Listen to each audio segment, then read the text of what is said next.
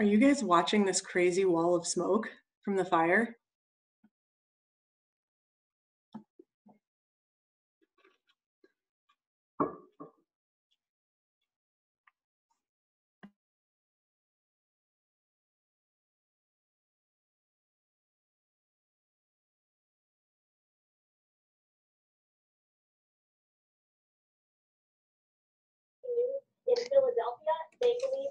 Becky, can you hear me? Americans. Oh, So these are the Um, it's definitely a wall of smoke out there. Isn't that wild? Yeah. You I- live, do you live up north? Uh, not that far, just like right on Elk River, but it's yeah. definitely like you can smell, like I can smell it in the morning. Yeah. Well, it was weird. Like the whole valley, I hiked up Blackmere this morning, so the whole valley was filled with smoke. You could see that. Um, and then it's like it cleared, and now I'm looking out the window, and it's just like Yeah. It's, it's, it needs Definitely. to rain on Yeah. Sunday. yeah. Or snow or whatever it needs to do. But, Did you see there's a little bit of snow in the forecast on um, Monday? oh, is there? Rain on Sunday, snow on Monday. Like bring it.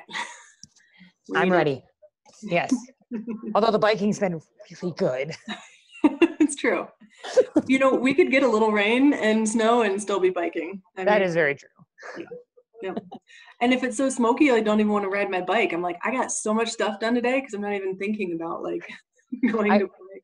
I rode yesterday morning and it was, it was, it had kind of cleared in the morning, Okay. like earlier, like nine. Oh, yeah. nine thirty, and then as we were like about to come down, it was just like, it's like, oh my Mhm. god, it was a Yeah. lot.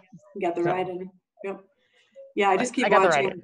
Purple Purple Air is the website I keep using for air quality, and it was bad yesterday. Yeah, I was not gonna go today. Well, I'm working anyway, but see I, that. uh, What is behind you? Is that like cutlery dispense? Okay. Nice. Keeping it classy. Ugh, Allie, you were outside, huh?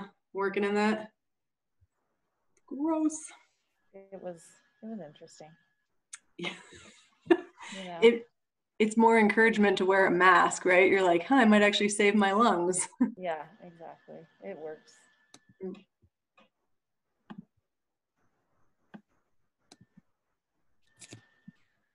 Um, so question for you guys, we hopefully have a few more people joining us, so I'll, I'll ask you guys.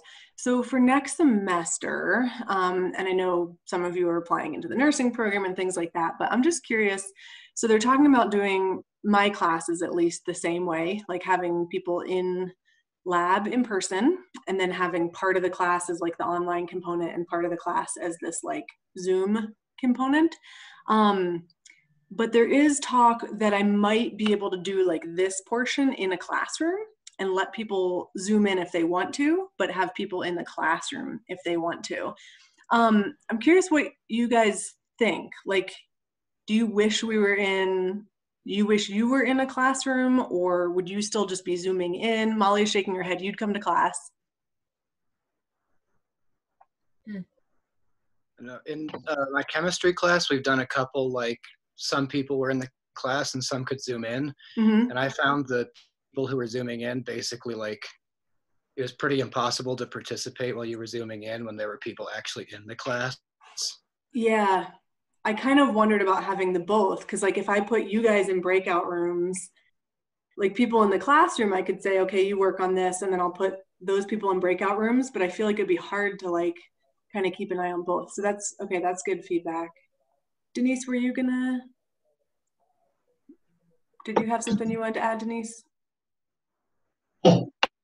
I've actually agreeing with Joe. I prefer the um the in class. Okay. Yeah. Yep. Okay. Good. Tanya? I'm a class fan. Yeah, of actually being in the classroom. Yeah. Hmm, I would So have to. Yeah, go ahead. I agree I agree with that, but I also love the lectures being able to like pause it and then like do my notes. And then then I like how we meet and then we kind of apply our knowledge. So Yeah. that's been cool. Yeah, I don't I've know how actually, I've actually, it makes a lot of sense, right? Like you really shouldn't have to come to a classroom, right, to hear the sage on the stage, like repeating everything that's in the book. It's actually kind of nice. I mean, it's nice to have the videos and be like, oh, that's what they meant. Um, but yeah, I agree with you. It's actually really nice to to do more, um, interact more, uh, talk about stuff when we're so either way. Um, it would be Yeah. nice to keep that. Yeah. Like Cool. it would be awesome to do the Zoom on your own. And I know this is like way more work for you. And then meet together as a class to do something else, to talk, you know, talk about Mhm. topics. hmm I just miss your whiteboard. Me too, Molly. Me too. you're right, because I'm like recording lectures and I'm just like talking at the camera, and you're like, ah. So, and that's, um,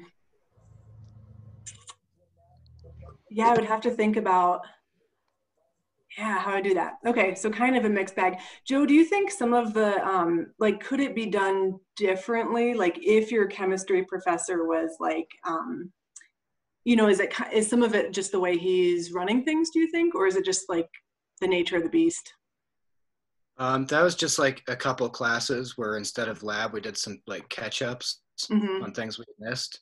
Hmm But uh, I think it was just the nature of the beast because like the people who are actually in the classroom, you can just speak up immediately versus, you know, your voice is breaking up and you have to like lunge for the space bar whenever you want to say anything. Yes. And no one in class can see you. Oh, they can't see you. Well, because you show up on the professor's screen, but then the Mhm. people in the classroom, like, we Mhm. didn't Actually, have anything class. projected on out to like okay. screen I am looking, they set up a couple new classrooms where I think theoretically you would all see each other. Like there's a huge screen in the back, so everyone who's like in Zoom shows up on the back wall. But then on the front wall, I think you get the students can see them as well. So I don't know, maybe um, if you guys are game, maybe even later in the semester, um, we'll just play with it. Like I'll teach from one of those rooms just to try to see um, what that would look like um, just the technology but or maybe we can do like a review session that way or something. Um, yeah we'll play we'll play with that so. Okay so kind of a mixed mixed bag. That's kind of what i expected on that so. Okay well we've got some respiration to talk about. Um, so let's see. So next week in lab we will start um, doing dissection and model i got to put that list up. Sorry. I don't think I've listed that yet. We will be on the respiratory system lab. Who knows where anything is? I do not have a lab manual in front of me. Look through there for respiratory system, all the anatomy. So different lobes of the lung, branches of the bronchi, that sort of thing. Um, and we'll be doing some dissection and, and looking at models there. So um, that's coming up on Tuesday. Um, but today, we're going to talk about the respiratory system, right? I will, whoa. I will say this is the problem with me making videos ahead of time because I'm like, wait, wait, which chapter are we on? What am I talking about? You know, if I, anyway, respiratory, yeah. Okay, so anatomy stuff is fairly straightforward, right? The same as any other um, system, memorizing some of that terminology. Um, but I do think the physiology on this one gets a little bit um, intimidating for folks. So I think we should spend most of our time there. Does that sound good to you guys? I particularly think I find um, like oxygen hemoglobin dissociation curve. I find students have a difficult time with that. Um, the transport of carbon dioxide, because it goes through that whole equation where carbon dioxide becomes carbonic acid becomes bicarbonate. I find students tend to tend to struggle with that a little bit. Um, and then the gas, like the laws associated. So those are kind of the main things I see. Anything off the top of your head you'd like me to add to that list? Otherwise, um, you can bring stuff up as we go. Uh, Becky. oh, Allie? Sorry. Go ahead, Allie. Um, I just have a question about how important is it? In your lecture, you said that the the larynx is part of the lower respiratory system, and our book does not say that. Yeah, right. I'm like looking at the picture from your book, and I was like, yeah. Um, so clearly not that essential. If Okay. maybe I'm yeah, it's another one of those. I'm like, hmm, are major textbooks disagreeing on this, or is that just a typo? So, um, yeah, not. Again, that's like a, a human construct drawing a line in the sand. It's all one continual thing. Okay. Becky, I did write somewhere last night that it it is considered both upper and lower. Oh, okay. Mm-hmm. So maybe one textbook went one way and one went the other, but Yeah. kind of either. There we go. Thanks, Denise. Carolina, what were you going to ask? Um, so, okay, so the glottis versus the epiglottis is throwing me off a little bit just because the book says glottis, and then I, I think I forgot or I didn't like write down enough notes on the glottis because I got confused and I was like, it, I, I'm confused as to if the epiglottis is what completely covers the um, larynx, the larynx or it's the glottis. Epiglottis. Um, let's see. I'm looking for a picture that maybe shows both. Um, so I tend to think of, well, here it's showing. So um, think of the glottis more uh, as like the opening, the passageway for air, right? Part of the tube. And then the epiglottis is a flap that comes down over it to prevent food from enter- entering the trachea. So I wanted this side picture to show us kind of where they're thinking um, glottis is, but just looking at here where we've got the um, vocal fold and the um, vestibular fold, it would be in that area, but it's the passageway. The epiglottis is this big old flap that's going to be able to come down over that opening, over the glottis, right? So epi, think like above, um, and it comes down and closes it. Does that help? Okay, cool. And then I can't. Ooh, I wrote this down really quickly, and I didn't further elaborate on what I was confused on. So the blood routes of the lungs. It was talking about pulmonary, and then something else. Um, I'll try to look for it. Sorry. No, Just you're okay. Yeah, so this is a, oh, sorry. Let me stop sharing so I don't just make you all nauseous as I flip through my PowerPoint. Um, yeah, so definitely one to, a good place to remind ourselves what we're looking at with the pulmonary um, circulation. So who, which chamber is actually pushing um, blood to the heart? I'm sorry, to the lungs. Right ventricle. The right ventricle, good. And is that blood oxygenated or deoxygenated? Deoxygenated. Deoxygenated. Go get oxygenated. Good. So it's going out from the pulmonary arteries to the lung, right? And a lot of times people get confused on that because it's deoxygenated. But if it's going away from the lungs, right, it's going in the artery. And I'm still not finding the picture that I want. I may not have it in here. Um, that might be back in the cardiovascular chapter. This might be as close as I get, right? And then it's going through the capillary beds, picking up, that didn't work at all. Oh my goodness. Where am I? Sorry, guys. Yeah, I could go back to the classroom. I want my whiteboard back. That's what I want.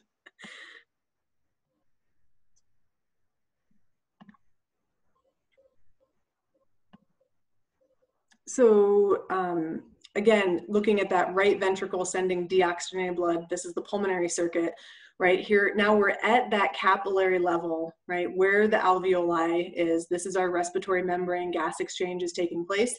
And so then that oxygenated blood is returning through pulmonary veins, right, into the left um, atrium. If you come across more of the question than that, we can certainly um, come back to it, unless that No, that answered it. I guess I was just really tired after reading, like, Okay. doing the other chapters because I it didn't make sense for some reason. I was like, we went over this with the heart, so why is it so hard for me to understand? Okay, Thank but that makes sense. Yep. Yeah. You're welcome. Um, so this is actually where I was thinking of picking up kind of physiology wise. So that's a great segue, Carolina. Um, and so really thinking about um, how the gases are moving from the alveoli to the blood or from the blood to the alveoli. So notice um, this top picture, they're showing external respiration, right? So gas exchange is part of that. This is taking place at the alveoli at the lung.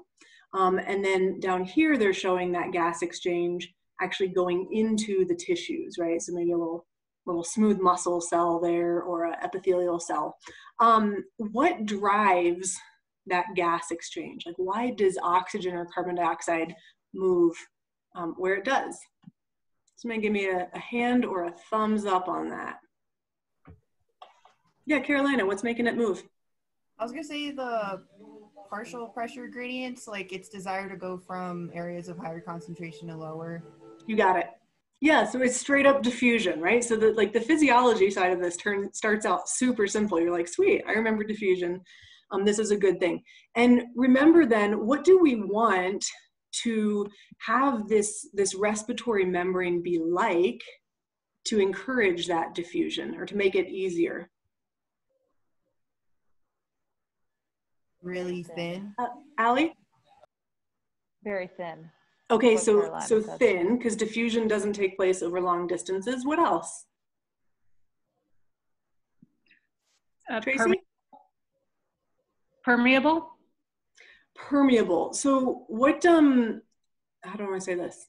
What are oxygen and carbon dioxide um what do we need in order for that membrane to be permeable to those two molecules? Um, well, they're lipid soluble, right? Good. Yep. And so we're really just moving through a couple phospholipid bilayers here. And so that permeability is super straightforward for the gases. What else is going to help us? Like a, a bigger um, gradient. Good. Yeah. So the steeper the gradient is, right? So like this is why you'd put someone on oxygen in the ambulance because if you can up the PO2 in that alveoli, now we're, we're, we're sending more oxygen into the blood. So good. So a bigger gradient makes diffusion go faster. Yeah, Jennifer. A large surface area? There it is, surface area, right? So all these alveoli, nice guys, all these alveoli,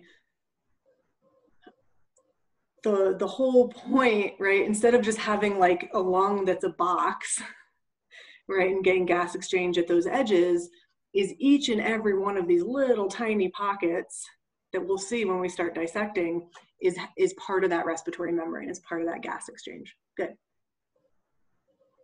Okay, are we feeling okay? Like they're giving you actual um, numbers here, and I don't necessarily care that you memorize, right? That 100 is a normal PO2 at the alveoli and 40 at the, you know, pulmonary capillary. You don't have to memorize these numbers, but you should certainly uh, like have an idea of which way things would be moving. And sometimes it's easier just to have those numbers as like a reference, like, well, if it's 100 here and 40 there, of course, we're gonna flow into the blood, right? Say oxygen um, at the lung. Okay, so don't, you don't have to memorize the numbers unless they're useful to you. Okay, any questions about how this works?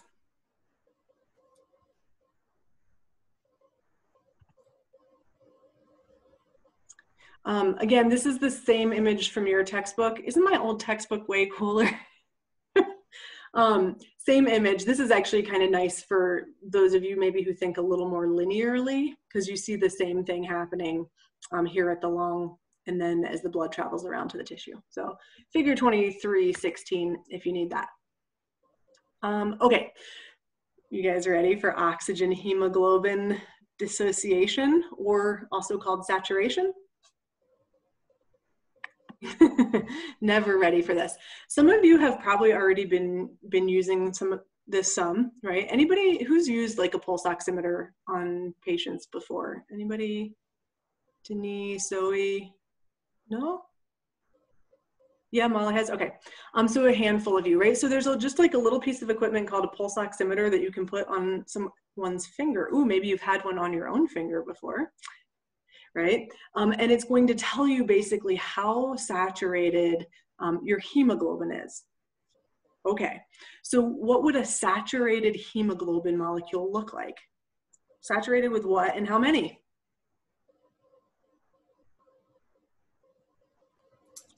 Four oxygens.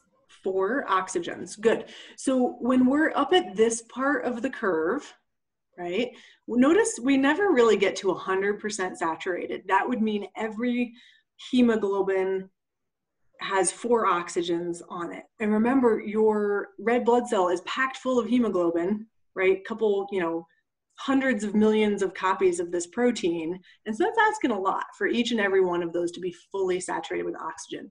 But 97, 98% is really common. So a couple things I want to point out on this curve that are really the key. Um, and then we'll talk a little bit about kind of how to use it, but really what you have to understand to be able to think through um, how this works is really at the top of the curve, what you want to notice is that it's, it's fairly horizontal. Okay, and so what this tells us is it tells us a lot about hemoglobin, right? So again, remember that normal air in your alveoli, they were saying was around 100, right, for the partial pressure of oxygen. And at 100, you are pretty darn saturated, right? But notice you could drop fairly significantly, right? Even down to a PO2 of 80, and you lose very little saturation. Your hemoglobin is excellent at picking up oxygen, right? It has, a, or you could say it has a high affinity for oxygen. Okay, so that oxygen wants to bind to the iron on the hemoglobin. And so you actually have a wide range of oxygen levels, say in the atmosphere, into your lung, that'll still get you fully saturated. That's phenomenal, right?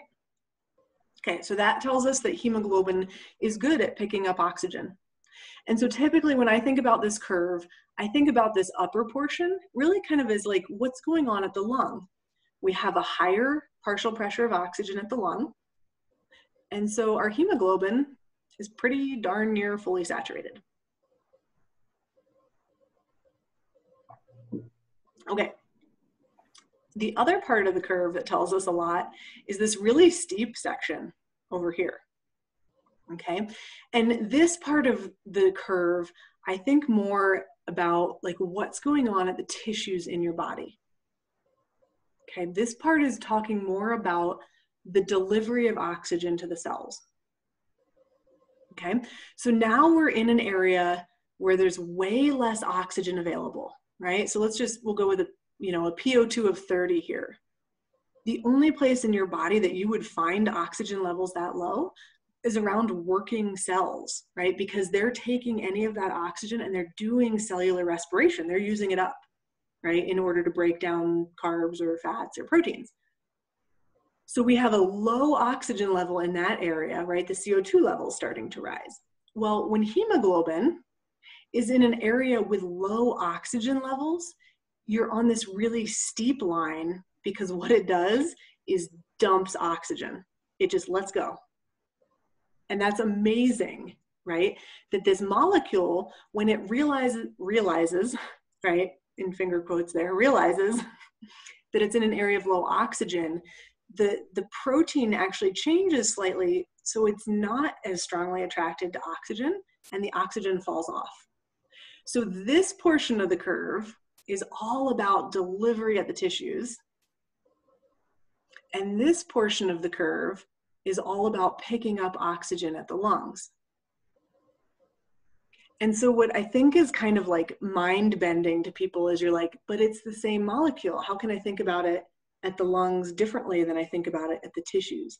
It is the exact same protein, but its environment actually changes how tightly it holds on to oxygen. So the coolest thing about hemoglobin is that it reversibly binds oxygen. In some conditions, like high oxygen conditions, it just boop, boop, boop, boop, boop, picks it up, right? But then when it's in an area with low oxygen, it's just boop, boop, boop, boop, boop, delivering. You're welcome to use the sound effects if you'd like.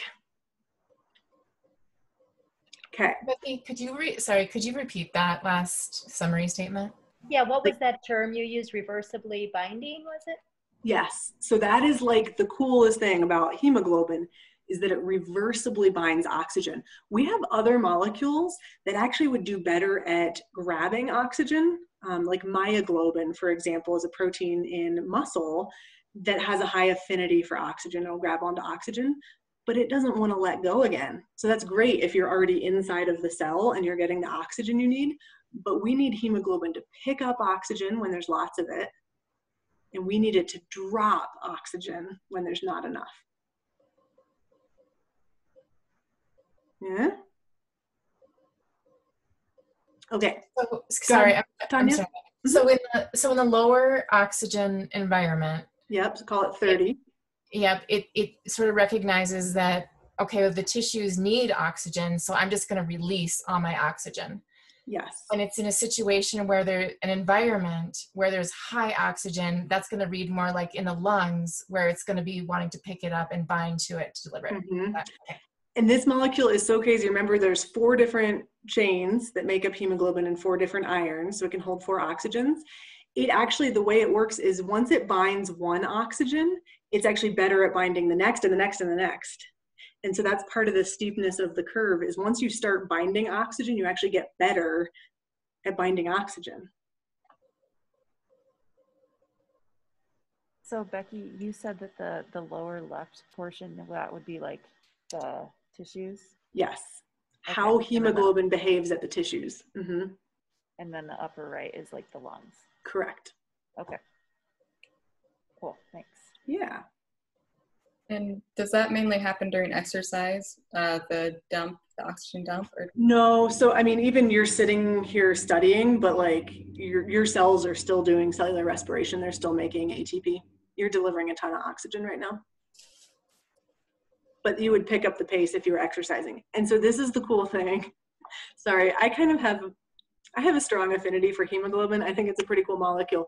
So notice what happens. So let's keep this kind of purplish line here is is standard, right? 7.4, that's the normal blood um, pH level, right?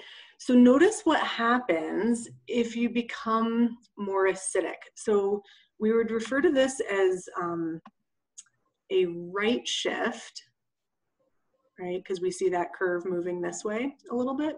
Okay, how do I explain this without confusing you?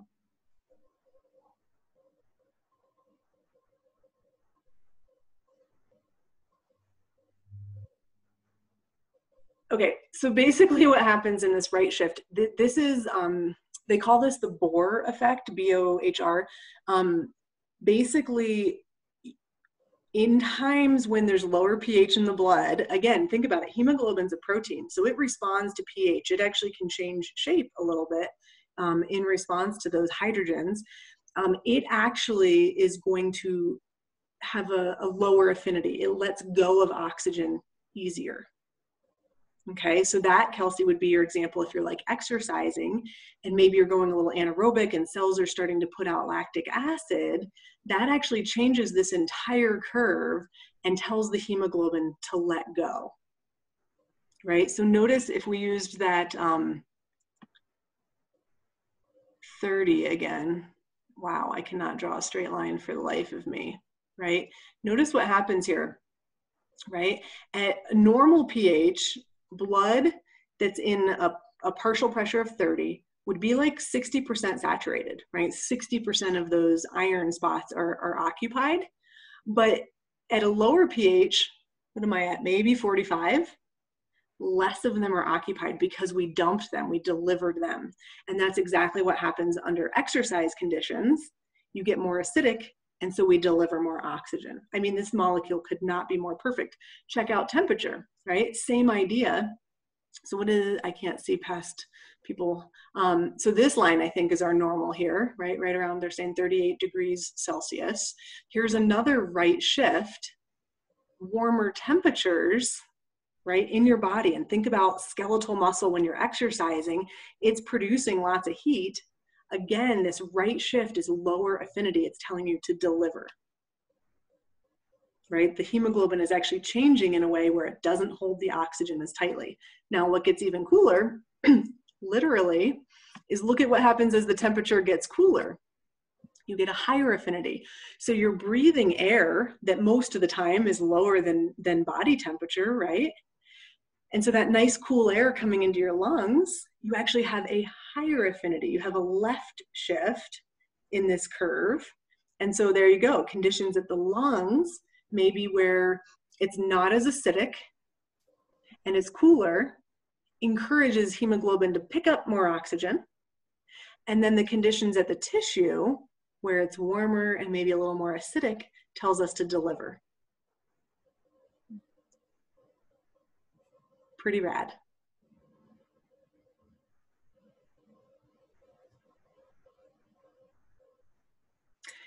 The other place, oops, sorry, and hold on, I think I had a chat come in,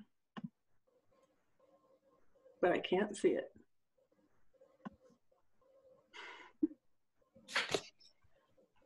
Becky, I chatted the whole group because in our book on page 857, the diagram says like at tissue, at lungs. Oh, okay, nice. What was that page? 857. Okay.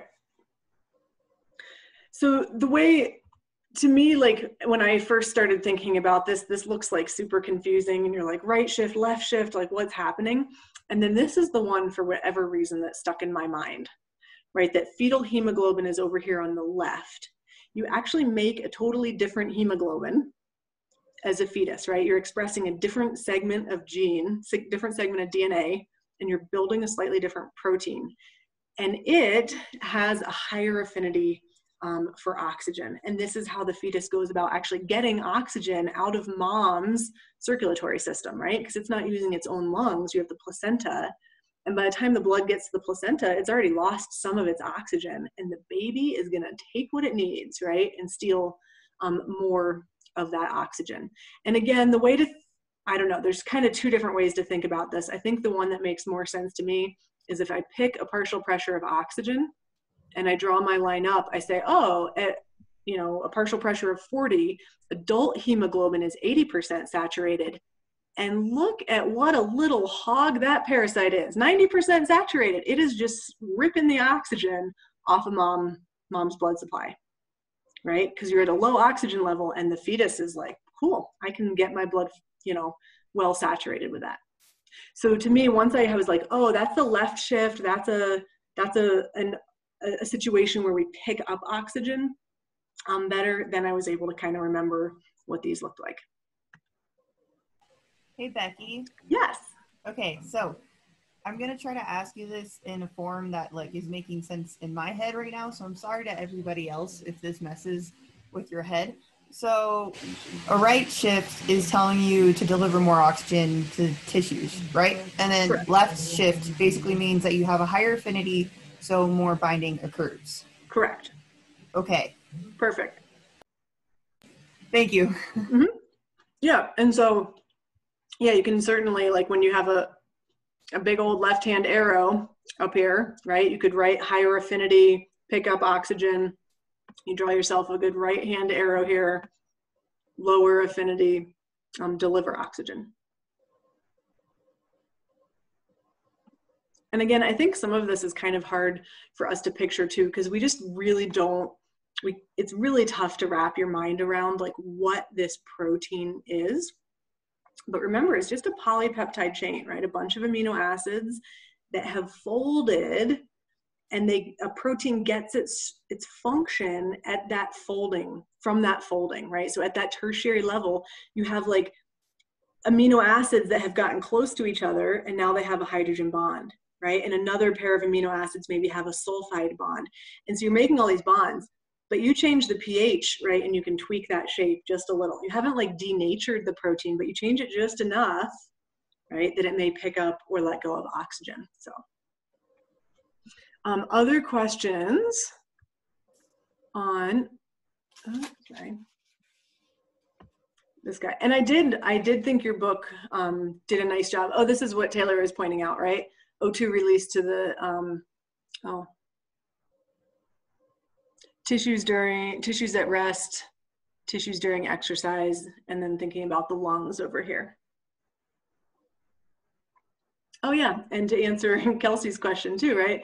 You're not um, desaturating as much um, when you're at rest, right? You only have to deliver a small portion um, of that oxygen. Okay, questions on oxygen hemoglobin saturation.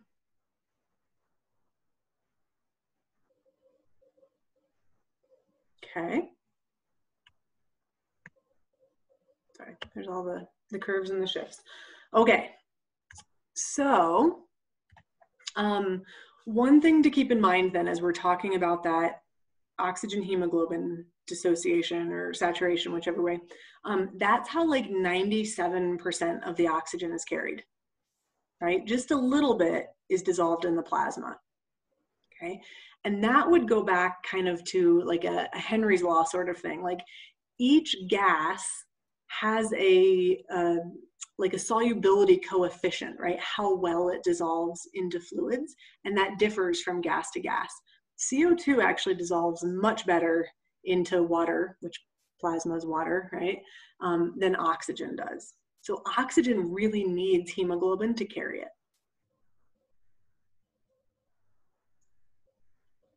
CO2, CO2 is the one that gets a little funky. Okay. okay, so 7% of CO2 can dissolve straight into plasma. Look at that, twice as much CO2 dissolves into liquid as our oxygen, right? So 7% of the CO2 just goes into the plasma and it can, it can float around. It just follows the bloodstream and will get dropped off at the lung, right? Most of it's diffusing into the blood cells. Sorry, question? Um, and then once you get into the blood cell, um, 23% binds to hemoglobin. So this tends to mess with people too. We think about hemoglobin as carrying oxygen, but it also is very good at carrying um, carbon dioxide as well. It doesn't bind to the iron, right? It just binds to the protein itself. Okay. Um, and in fact, you have this cool thing where basically as, uh, how do I say this?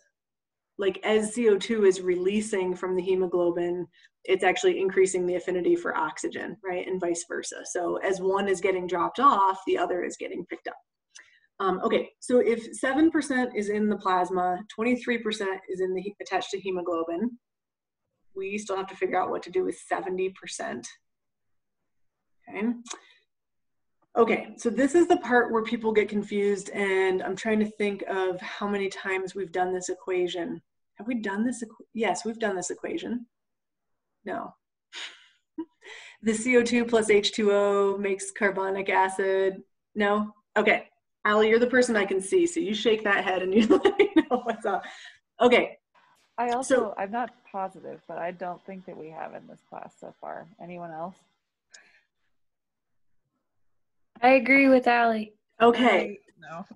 okay, so the reason I'm confused is because I see this equation so many times. And you are going to see this equation so many times. So here we go. This is, oh, this is our first go um, at how this works. So let me get rid of a couple of things here. Okay, so what we're gonna look at, and I'm just gonna go to a blank screen so we can talk through this, right? They're saying 70% of the carbon dioxide is converted into carbonic acid, which is H2CO3, and then it falls apart into hydrogen and bicarbonate. The bicarbonate leaves the red blood cell and the hydrogen attaches to hemoglobin.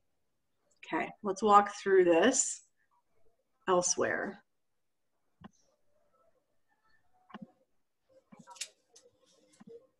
It must be patho. I've already done it like five times this semester, I feel like, in patho.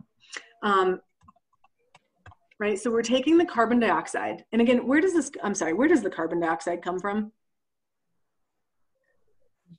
Cellular respiration. Good, it is the end result of cellular respiration. So the cell took in oxygen, ran cellular respiration, and this is the waste product. So what we're gonna do is in the red blood cell, we actually have a mm, sorry, a special enzyme that is going to put carbon dioxide and water together. This enzyme, I'll do that in a different color. This enzyme is called carbonic anhydrase.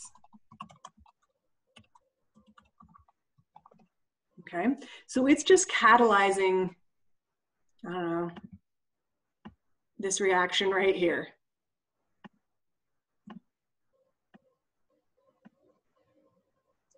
Okay, and it makes H2CO3. Sorry, I can't do like little subscripts on the numbers in this program. H2CO3. And where is this occurring? This is in the red blood cell. Okay. Yep, so the CO2 diffuses in here. And H2CO3 is carbonic acid. And notice, right, so you should, you, if you find yourself getting lost, notice what happened here. We put these two hydrogens, right, H2, on this left side of the equation. There's only one carbon.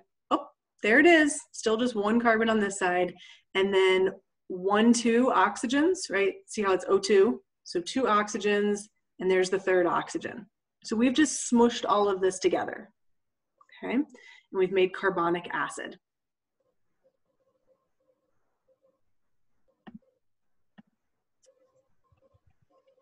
What does it mean to be an acid? So not something that's acidic.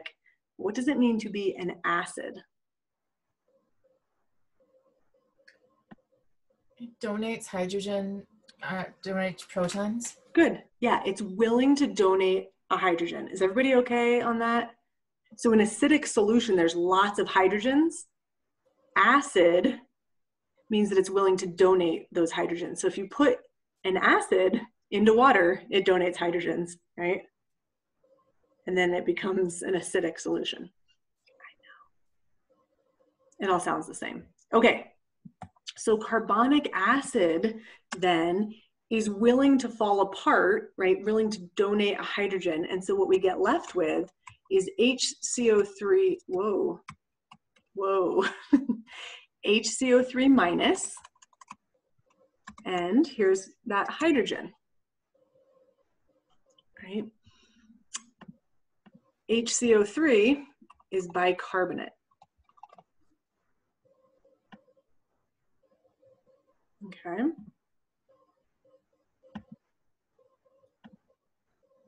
So this molecule is called carbonic acid. This molecule is called bicarbonate.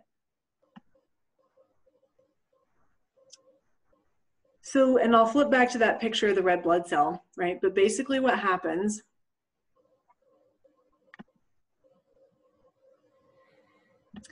right, is that carbon dioxide and water are in the red blood cell. Water is just like hanging out in there all the time. The CO2 enters, and this enzyme converts them into carbonic acid, which then proceeds to fall apart, right? Or dissociate is the, the fancy term, into bicarbonate and hydrogen. Hydrogen has the real risk of suddenly changing our blood pH, right? Of making us very acidic, and we don't want that. And so, what we'll find is that this hydrogen typically is going to bind to the hemoglobin. Hemoglobin is protein. Proteins are great buffers. One end of the protein can accept hydrogens, one end can let go of hydrogens. And so most of this hydrogen is just going to stick right to a, a, a hemoglobin to make sure we don't change the blood pH so drastically. The bicarbonate is actually going to leave the cell and go into the plasma. I should get back to my text box here. Right, the bicarbonate goes out to the plasma because there's just way more room, right? Bicarbonate actually dissolves very nicely into water, um, and so it can fit in the plasma. And then the last little detail of this, I'll show you in the picture, is that as bicarbonate leaves the cell, to keep the intracellular fluid from suddenly lacking a bunch of negative charges, a bunch of anions, chloride comes in, right? They just do like a little switcheroo to make sure electrically we don't change things. So let's um, jump back over to our picture of the cell.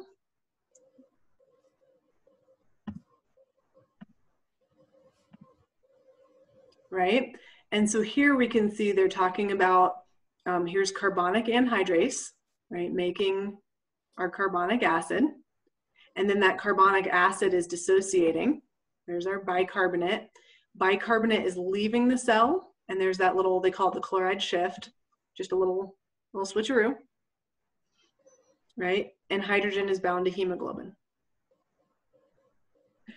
So it's crazy that like oxygen, it's just like, okay, hemoglobin carries it and drops it off.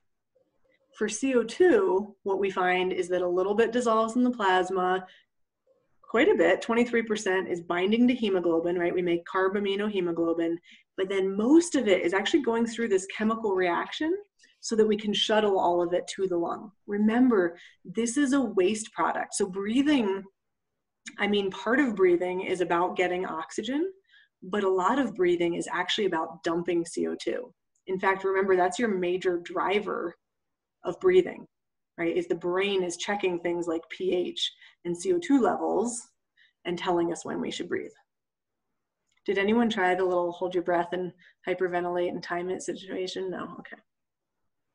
No, but I have to say, I just listened to a podcast, totally unrelated, uh, Yeah. with David Blaine and how he held his breath for 15 minutes. Made me wonder if he, yeah, he's done that. Wow. Hmm. Is he like a, a surface diver or something? No, he's like a magician guy. Oh. He's done, he's the one that like got buried alive, and he's crazy. Just hold your breath. basically. Yeah.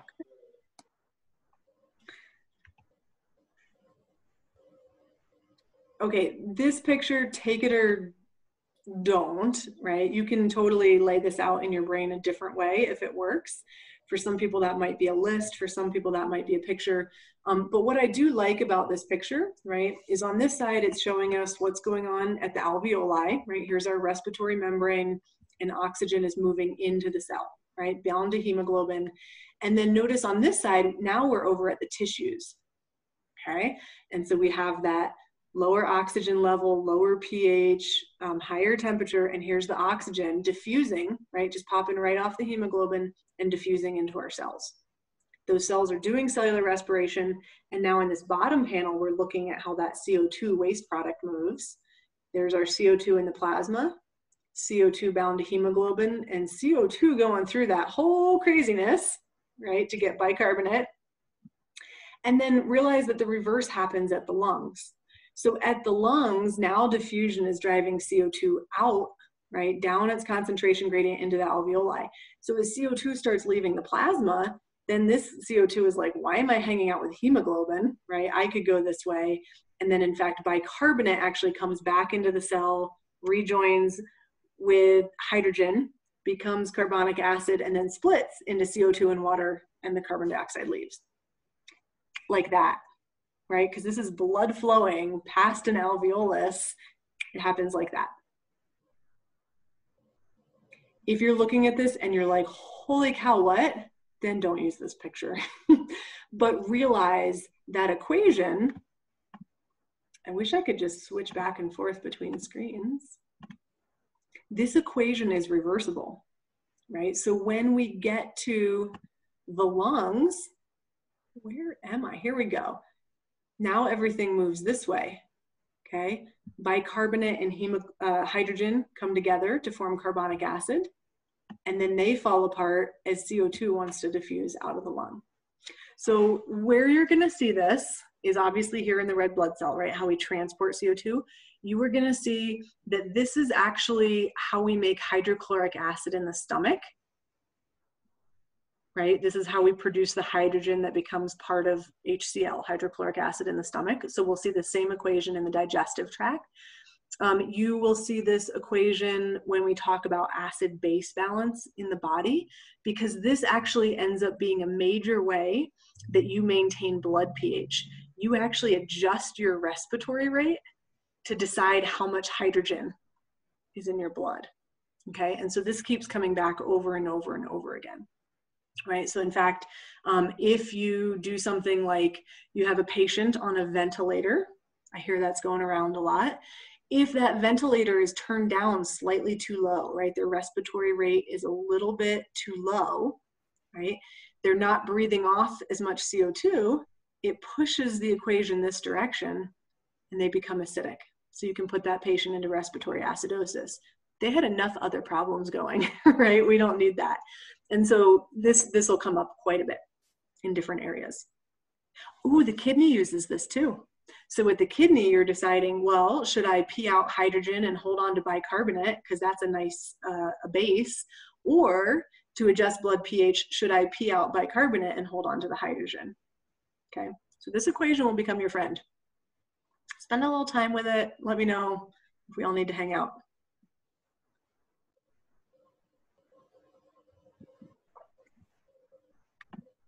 Okay, questions before I keep going? Actually, Becky, I was gonna ask you if you could leave that so I could take a snipping, like a screenshot of it really quick, please. I sure can. Thank you. You bet. Becky, can you? I don't know if this is on topic, but the thing you said about um, how hemoglobin, when it's there's a relationship between oxygen and carbon dioxide. If it's got a lot of oxygen, it won't hang on to carbon dioxide. Mhm. Could you review that?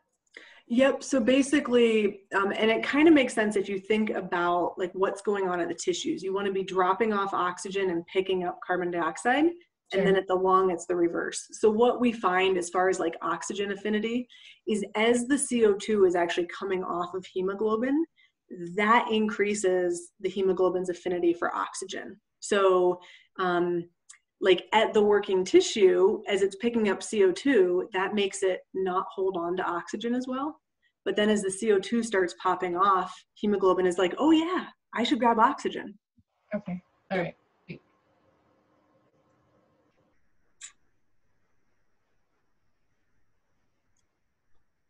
So, Becky, is it fair to say that hemoglobin just doesn't like to have any vacancies on its like binding sites? Is that does that make sense?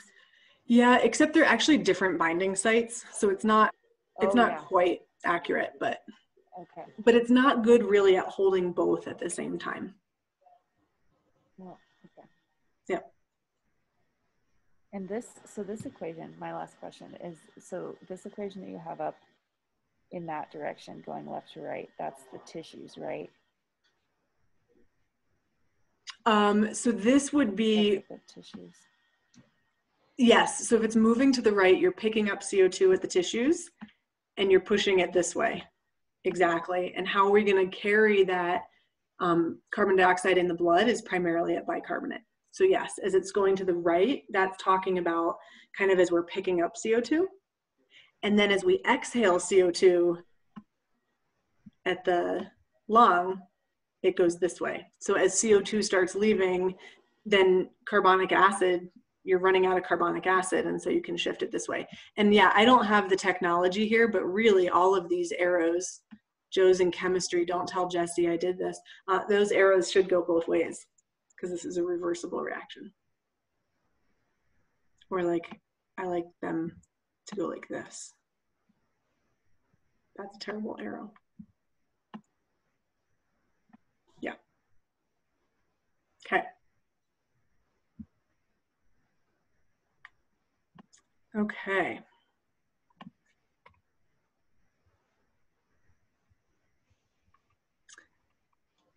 Um, let's see. Oh, sorry. And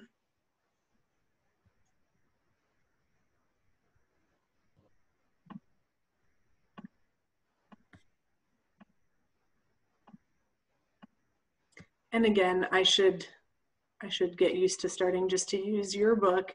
Um, that didn't work at all. Um, your book does have good images of that whole equation as well. And it does a nice job of putting them actually a little more linearly, which I think probably works for a lot of folks. Okay, let's do, let's take a five minute break. Okay, 406, we'll be back.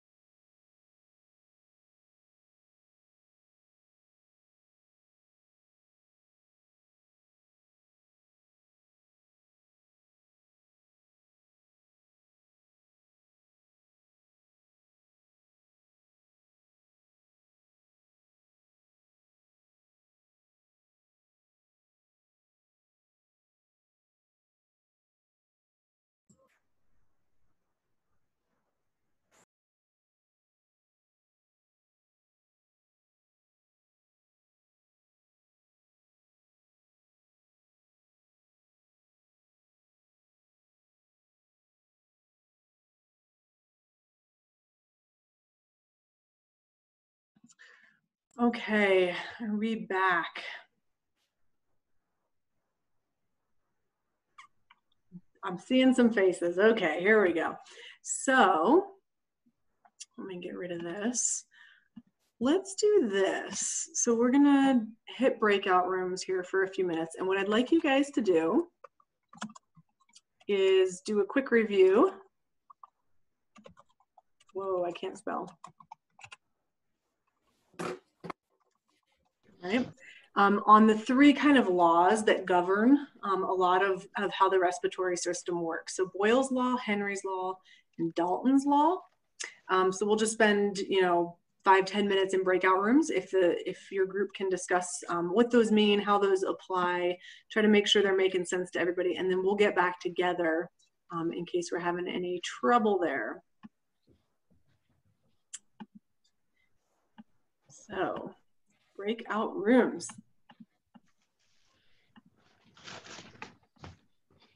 Three to four, let's try that. Okay, here you go.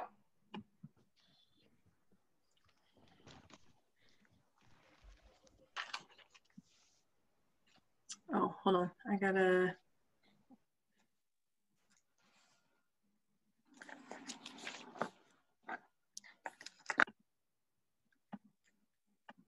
I have to push the right button. Here we go, breakout rooms.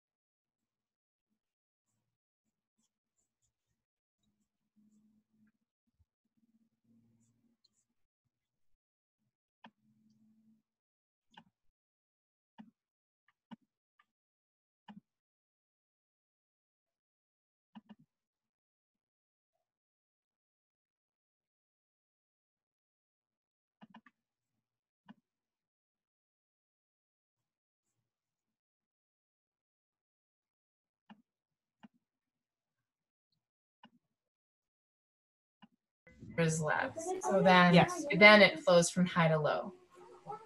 Yeah, I'd like to think of an accordion like as you pull it apart, the air flows in, and then you push it together, and the air comes back out.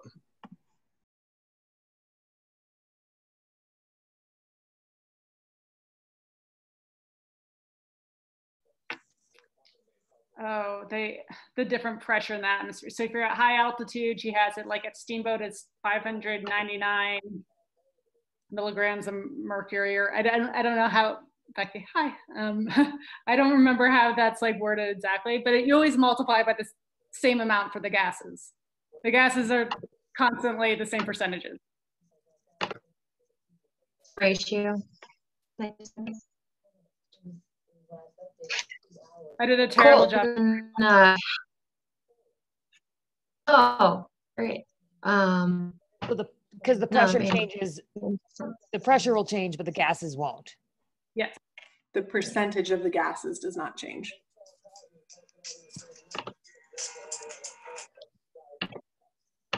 cool. And then which one? Henry's Law is the last one.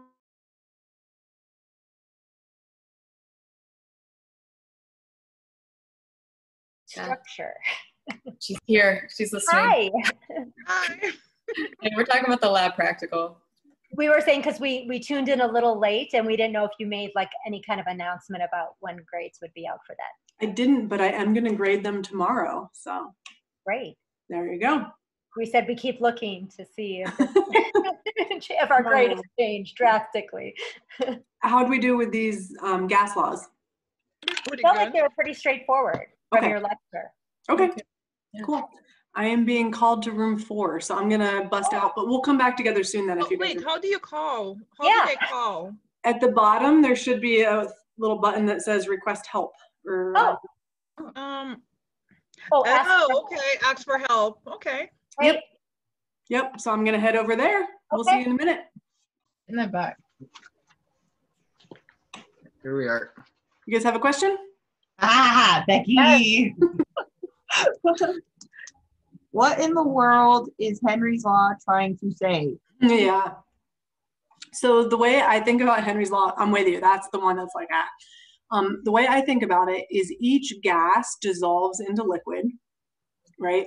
But each gas does that at a different rate. So each gas has its own what they call a solubility coefficient. How how well it dissolves into water, right? So I was saying CO2 actually dissolves better into water than say oxygen does. And so that's all Henry's law is saying. So that he, I mean, it gets all technical about like at a constant temperature and pressure, yada, yada. But it's really just saying, yes, gases dissolve into liquids, but there's a, a number on how well that happens. Okay. And um, okay, so is there an actual formula to figure out sol- the solubility coefficient, or will Uh, we just not like for be us. told? Okay, Not for us, no. okay.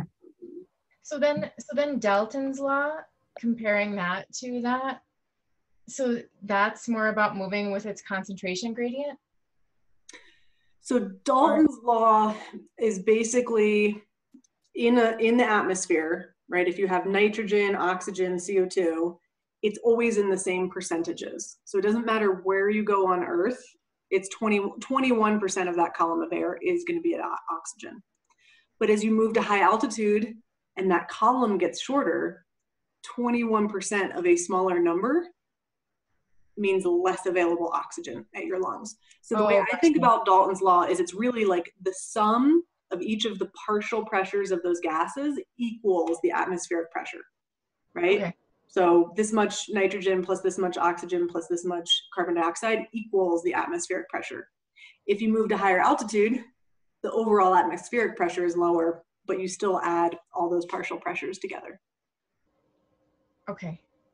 That sounds good. So that the implication of Dalton's law has more to do with your elevation yes. or atmospheric pressure where you're at. Okay. Yes. So you, yeah, the atmospheric pressure, exactly. So at sea level, it's 21% oxygen, but that's of a bigger number. So the Yeah. partial pressure of oxygen reaching the alveoli is going to be higher. When you're on top of a 14er, it's 21% oxygen, but the partial pressure of oxygen is actually going to be much lower reaching your alveoli. Gotcha. So does that mean that the the rate, like you actually have fewer oxygen molecules to be had, Yes. right? And so is it a result of like you're not able to like saturate your hemoglobins as well? If you move low enough on that on that chart, Yeah, yeah, right. Yeah. if you move low enough on that chart, the partial pressure in the lungs, right? If that slides down low enough, then yes, you will not saturate your hemoglobin. So that's why people on Everest, right, with supplemental oxygen to be able to keep enough oxygen to their tissues to keep climbing. So you're so it's it has to do with quantity of oxygen molecules and the pressure differential between inside and outside. So the pressure is the amount in this case. Okay. Yep. All right. Thank you so much. Yeah, you're welcome. I think other groups are pretty well wrapped up, so look for the little message here soon. Okay.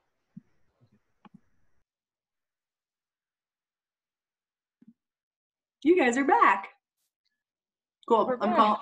I'm calling everybody else in. It's always hard in the breakout rooms because someone's like asking me these questions and I'm thinking, I bet we get back to the main room and everyone's gonna have the same question then. It's okay.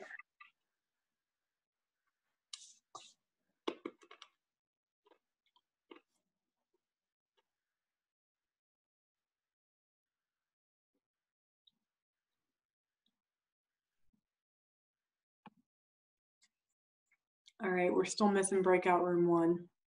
We'll give them their 30 seconds. There they, nope. they were talking about the lab practical. They were trying to figure out when it was going to be graded and if it had shown up yet. I'm grading them tomorrow. grading them tomorrow. So, is the plan. I have Okay. a question on that. Mm-hmm. Oh. I can't, but you can't, we can't actually talk about it because we have a couple people who haven't taken it. Yeah? Yeah, no, I'm more wondering, um, quiz two, and afterwards I realized I got that partially right. Is it kind of just a hit or miss, two points or zero points, or is it, uh, We'll see how I'm feeling tomorrow. yeah. No, I, I, my husband asked me, he's like, how'd you? I was like, well, that's not how it's graded. Like, I know there are a few I definitely got one word right and got the Latin word wrong. Uh, yeah, no, But we'll see. Anyway, It, anyway. There's usually partial. so. But yeah, Yeah. those- we should have No problem. tomorrow and then in Canvas. So those will pop up. Okay, um, Boyle's Law is the easiest one, right? Zoe, what does Boyle's Law say? That volume and the partial pressure is like an inverse relationship. that volume and pressure are an inverse relationship. Yep.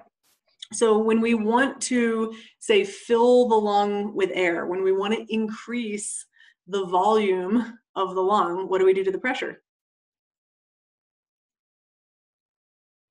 If we want to increase the volume of the lung, do we want to increase or decrease? Decrease the pressure. Good. Yeah, exactly. So we're using those muscles of inspiration. We're pulling the diaphragm down, we're lifting the ribs up. And it's pretty crazy. Air just goes like flowing on in there. Weren't you excited when you saw the same equation from the cardiovascular chapter? You're like, oh, yes. Change in pressure over resistance, we got flow. It's like that. You'll see these things over. Okay, so that one was pretty straightforward. Um, I heard some people talking about Henry's Law, and they're just like, wait, what is it trying to say? Who feels like they came up with a good a good explanation on Henry's Law?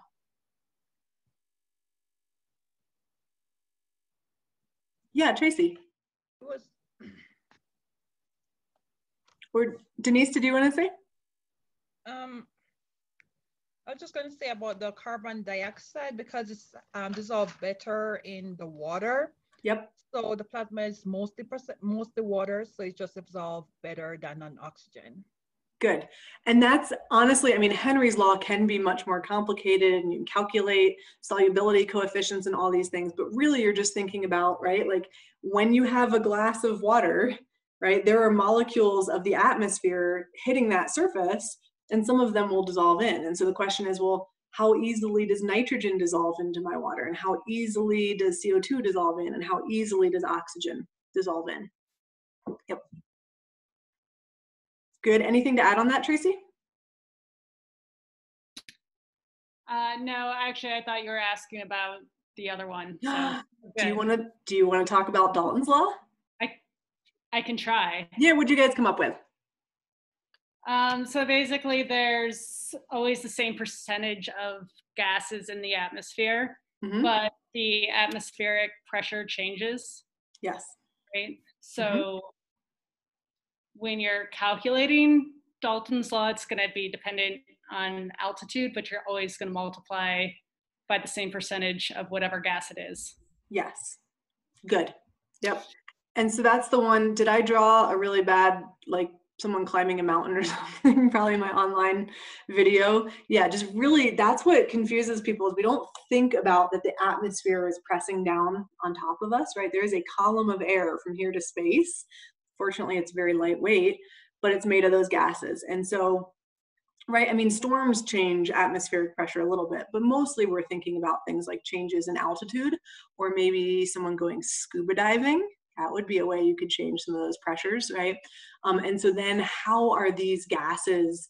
Um, how are the partial pressures affected? It's always 21% oxygen, but if the overall volume, right, is way lower because you're standing on top of a 14er, 21% of you know a third of the air is actually a much smaller amount of oxygen and so someone was asking me i was going to try to pull this up again oh if only someone was asking me like how that affected um, hemoglobin saturation and so let's use this picture but first I have to hit share.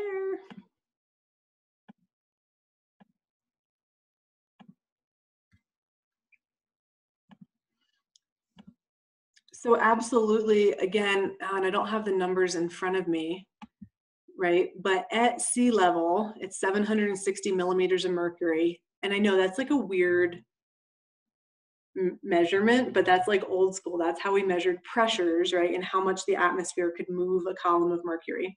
Um, so at sea level, 760 millimeters of mercury, 21% of that ends up being like like 150 or something. And so then the amount that actually makes it to the lungs is right around 100, right? So the partial pressure of oxygen in the lungs, around 100 is a pretty normal value. And so then if you were, oh, I ha- I'm looking at you guys like you should have these numbers. I have my notes here too. Um, so then if you're on top of a 14er, right, we're gonna drop, it's still 21% oxygen, but just the air, you're gonna have about 96 millimeters of mercury. But remember, not all of that makes it to the alveoli, right? In the in the lungs, you're mixing with CO2 and things like that. So say, say it's only 80, right? Let's see what that does to our saturation. If I could draw a straight line. Okay, I'm no longer at like 98, but I haven't gone down that far. Maybe I'm at 95%. What does your body do to deal with that, that you're only 95% saturated?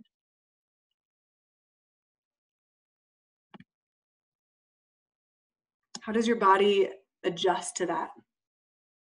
Standing on top of Mount Evans. T- Taylor? Increases respiration or increases your respiratory rate. Absolutely, right? So just think about as those tissues are starting to sense a little bit of hypoxia, right? They're not getting enough oxygen. You do things like up the respiratory rate, right? Or up the heart rate and the cardiac output and try to make sure, right? Like do that delivery a little bit faster because you don't feel like you're getting enough oxygen. I didn't do the math. Man, I don't even know on top of Everest what you're at. Man, what is the elevation of Everest? You're like 27? thousand feet. We could look up the atmospheric, right? Like what atmospheric pressure is on top of Everest, but I bet it's tiny. And then you only get 21% of that as oxygen. I'm just going to make up some numbers here. So, say you're now at like 30, a partial pressure of oxygen of 30 on top of Mount Everest. Man, now I'm only 50% saturated, that's going to be a problem, right? So respiratory rate has gone up, uh, heart rate has gone up. You're going to want to pick up the supplemental oxygen, right? Because you're starting to starve brain cells, and it's really hard to keep hiking when your muscles have no oxygen, that sort of thing, right? Okay, so that's where Dalton's law comes in. Hey, hey Becky. Allie. I have a question about how this relates to like, and maybe this is not something we need to go into right now, which is fine, but I'm wondering about how this relates to like carbon monoxide. Mm, hmm yeah, Um, so what do we know about carbon monoxide? Allie, what like what makes you th- ask about that? I always think about carbon monoxide, I guess, because of where we live and like wood burning stoves and all that. Okay, so Um, carbon monoxide, CO, comes from incomplete combustion, right? So a, a boiler, a hot water heater, a wood stove, something like that. So it is a gas that hemoglobin loves, loves. Such a high affinity, right? Hemoglobin, if it comes across carbon monoxide, CO, it binds to the to the iron where oxygen should go. Carbon monoxide does not bind reversibly. It binds and it stays put, right? And so you basically start filling all of those oxygen binding sites with another molecule.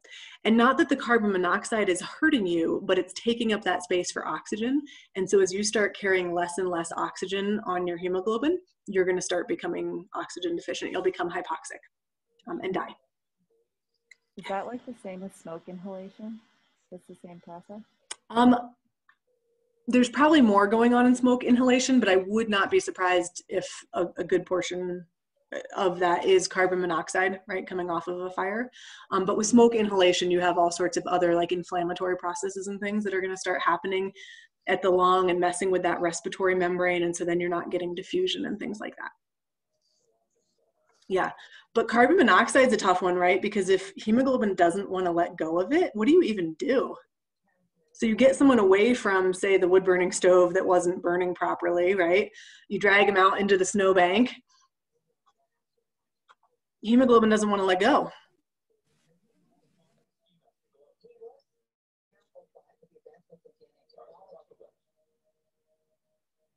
I think you would have to increase the pressure that, uh, oxygen has on your lungs.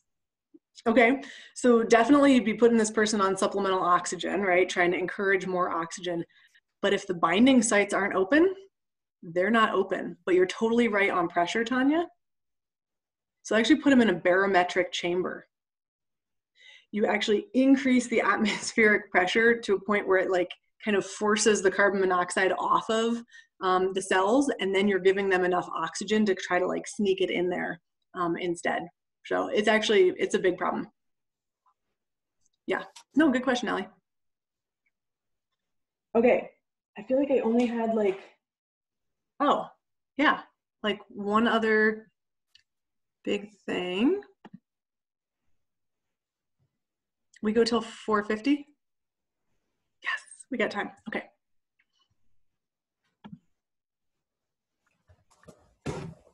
So let me just find ah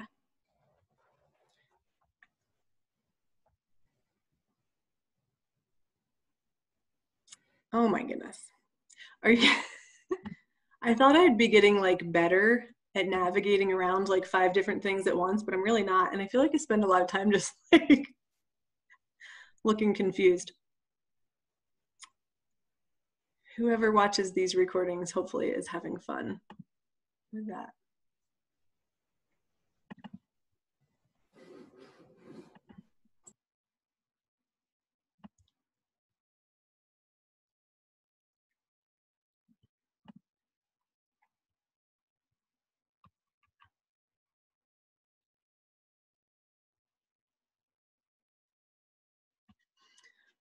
All right, I don't know that I love their picture.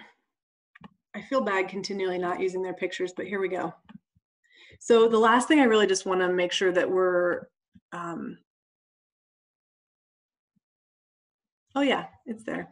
The last thing I want to make sure we're good on is this idea of the controlling the respiration. So hopefully again, we're noticing the end of every chapter, they're like, okay, what's the regulation of this system? Um, and again, what we're gonna find, I can make this bigger. They said this one, this image up a little differently. Excuse me. Right? remember always, always, always, always, we try to do auto regulation first. So, what would auto regulation mean um, here in the respiratory system?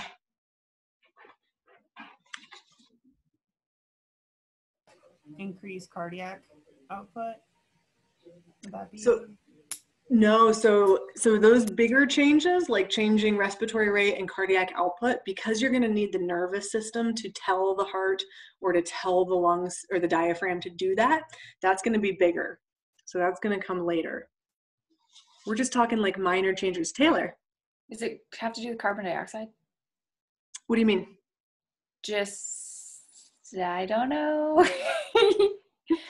Um so some of it, right? So one probably the easiest thing we do, right, is on the local level at that active tissue where you see higher CO2 and lower O2 levels, right? We're going to do things like the carbon dioxide actually um, does vasodilation and increases blood flow. So any of those tissues that are getting slightly hypoxic, they don't feel like they're getting enough oxygen, we actually see vasodilation. And so at the local level, we're trying to fix where oxygen is being delivered. On the lung side of things, same thing. They were talking a lot about um, ooh, ventilation perfusion matching, right? They use that term a few times. And so thinking about, okay, what in the bronchi, in these air tubes, what sections of the lung are we sending oxygen to? And let's make sure those are the capillary beds that are open. Because remember, if you think back to capillaries and those blood vessels, we said there's not enough blood to actually fill all our capillary beds, right? We're constantly kind of moving it around by using those little precapillary sphincters. We're doing that in the lung. And so we're trying to put the blood flow where the um, oxygen is, right? And so those are kind of minor um, local changes that take place. Um, Taylor, same thing with CO2? CO2 as you're exercising, right, and more CO2 is coming out of those um, bronchi, that also actually acts as a, a bronchodilator, right? So you can make that slight change to improve airflow in the lungs. So those are all real kind of local changes. From there, we involve the nervous system. And what are the parts of the brain um, that are going to be important here? Two parts.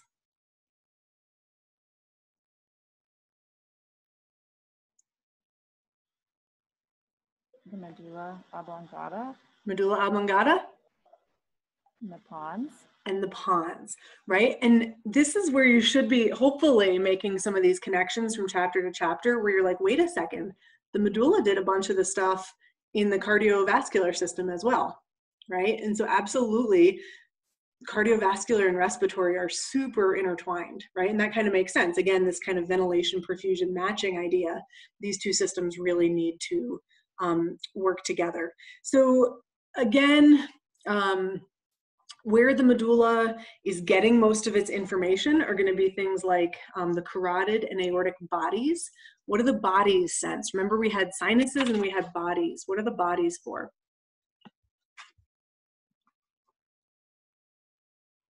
Ma-? Molly? Is it baroreceptors? No, the sinuses are the baroreceptors. Yeah. What does that leave? The chemoreceptors. The chemoreceptors, good. So the aortic and carotid bodies, those are looking at things, sensing things like pH um, and oxygen levels. And remember, pH, because of our equation that we went through today, pH is that indirect measurement of CO2 levels, right? Because the more hydrogen, the less CO2 you had, and vice versa. Okay. Um, and so again, it really is that CO2 level, the pH um, value that's going to drive respiration. That is the primary um, driver. Um, what else?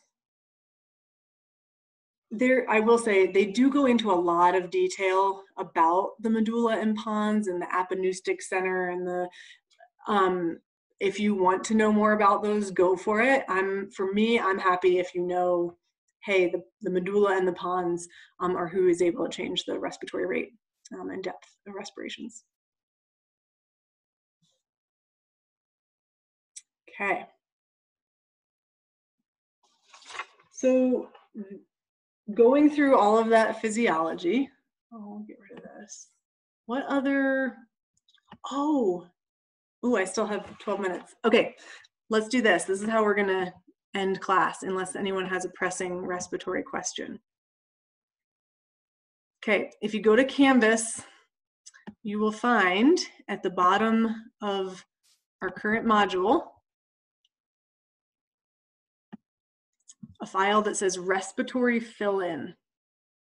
So it's a PowerPoint slide. Um, I'll put you guys in breakout rooms again. Um, and if maybe if someone in the group wants to bring that in, um, it's going through the respiratory values. So things like tidal volume, inspiratory reserve volume. These are values that you're gonna come across um, as you're working with patients. And so let's just run through that and see if you can go ahead um, and label. Does everyone find, is anyone found that? Does it look, we can find it. Okay, cool. Thank you, Allie. We'll just go, I think, with the same, same breakout rooms. Okay. Fill that out. Call if you need help on it.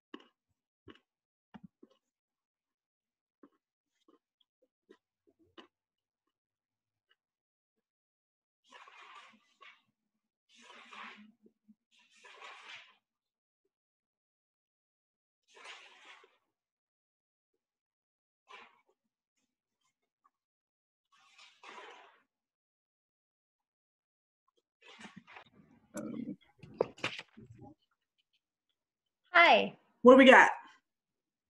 The, uh, oh, um, can you enable uh, sharing, screen sharing for us? You should be able to. What's it telling you? It says host disabled participant screen sharing. What? Yeah. Okay, how about now? Nope. Sorry, buddy, no. Um, and do we need to download this file to edit? uh, You can just edit it. Oh, to to be able to actually write on it, you should be able to. That's weird. So my screen says all participants can share and multiple participants can share simultaneously. Hmm. Uh, yeah, still not working. Here. Um, can uh, can everyone see it? I don't know. Do you guys have it pulled up? Yeah, I have it filled up. Or I can pull it up though, but I didn't. But I just can't see the screen like I can't see you guys when I pull it up though. Yeah, yeah. How about Denise? Do you try like if you hover at the bottom of your screen where it says share screen? Will it let you? No, wait, let me. Let me try. Let's see.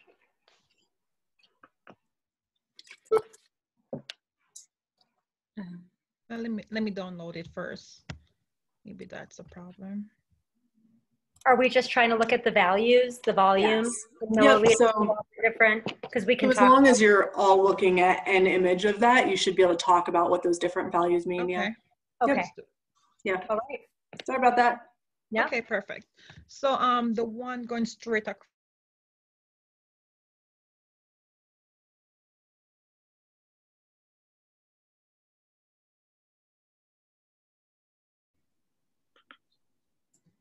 And That's vital capacity, I think. Yeah.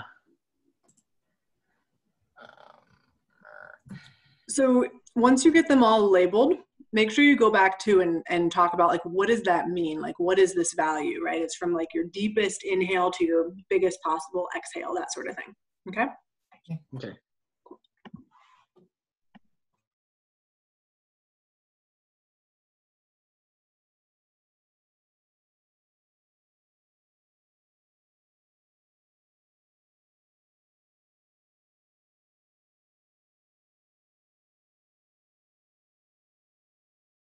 Breathing, like how much you can exhale in. Yeah. No, I mean that middle box she's pointing to. Oh. Yeah, that one. That would just that's be the full, sorry, that's the full. that's total lung capacity. full- Yeah, you're right. That's it. I wasn't, I didn't see the bottom part. Oh no.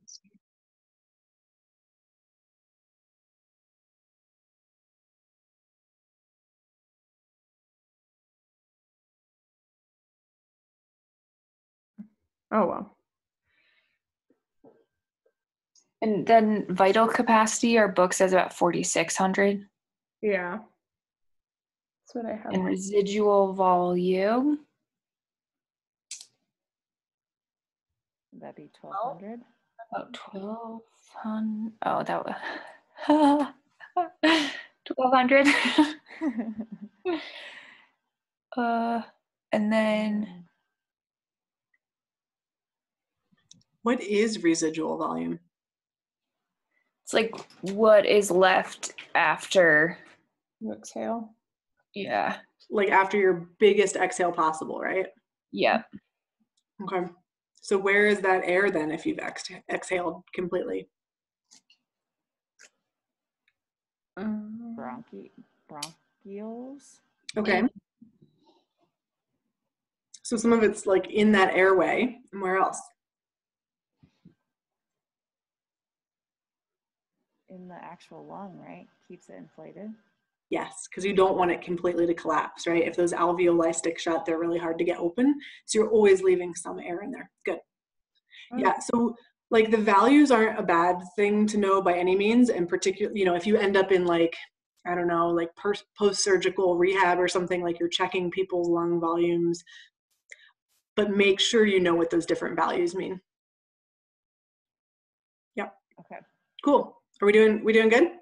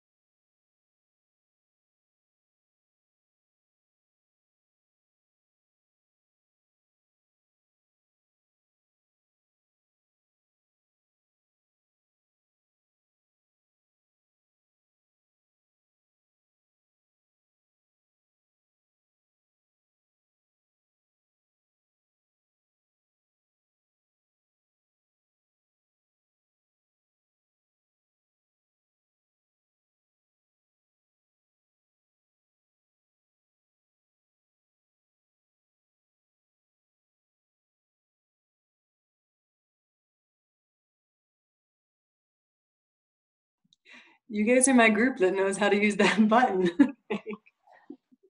nice. Did we get through those okay? Okay, cool. We get them, Joe?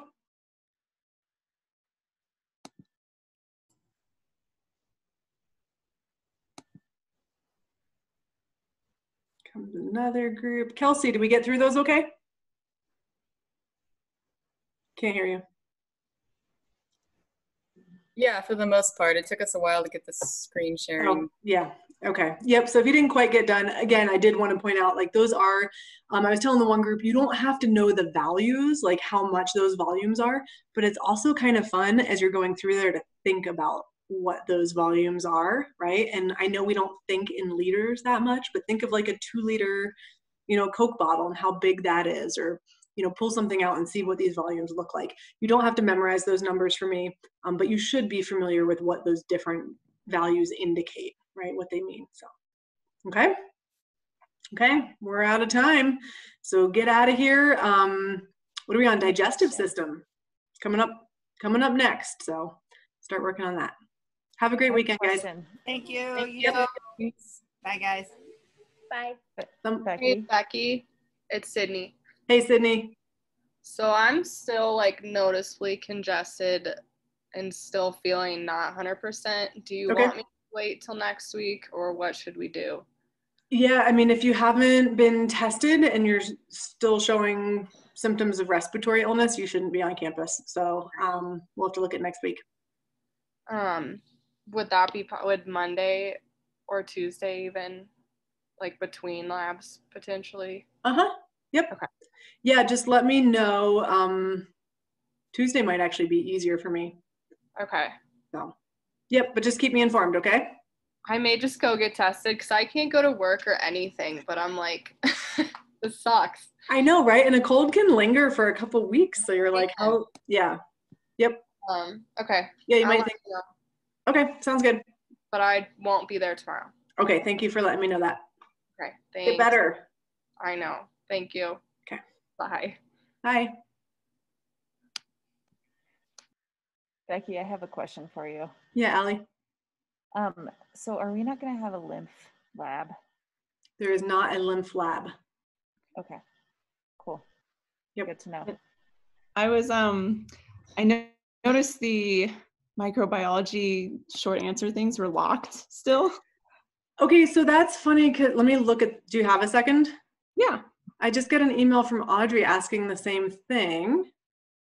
Um, let's see what I've done. Because I think the multiple choice ones are open. But I just was curious about what questions. And to me, the questions look open. So when you click where it says exam two, Uh-huh. oh, let me make sure. It says it's available October 8th at 11:30. Yeah, and it has the little link where it's, it's highlighted and underlined. Yeah, but when you click on that, it tells you Yeah, it redirects us to like a blank. It looks the same, but it says file is currently locked. Wow. Just curious because I wasn't, you know, I was. You're not the only one. Let me see if there's a way to unlock a file. I wasn't. That's a new one. Um, Because let's the date is correct. yeah. And when I click on it, it just downloads. So let's look at this real quick.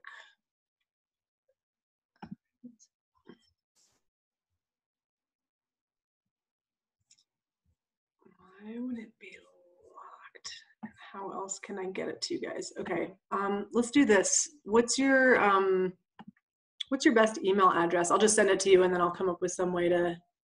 Um, Okay. Yeah. Um, now I got to figure out how to send an email. Here we go. okay, what's your best email? um, it's just Z O E period and then T R I P L E T T Mhm. and then the number three Okay, gmail.com. gmail.com. Okay, let me uh, just send the file over to you. Okay, sweet. Thanks for letting me know about that. Yeah, no problem. Okay, have fun. Thanks. Bye. Bye.